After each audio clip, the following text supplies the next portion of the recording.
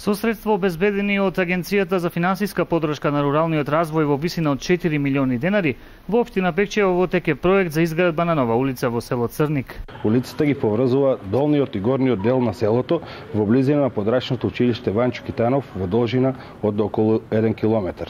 Инвестицијата е во вредност од околу 4 милиони денари, кои се обезбедени преку Агенцијата за финансиска подршка на руралниот развој на Република Македонија. Ова е еден од трите проекти кои се реализираат преку програмата на Агенцијата за финансиска подршка на руралниот развој, а ќе биде од огромно значење за жителите на Црник.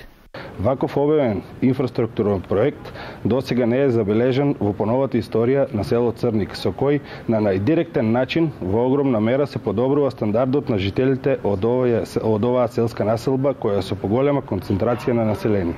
Инаку предходно преку подршка на владата на Република Македонија со средства во висина од 1 милион денари, општината Пехчево ја реконструираше и фекалната канализација во село Умлена.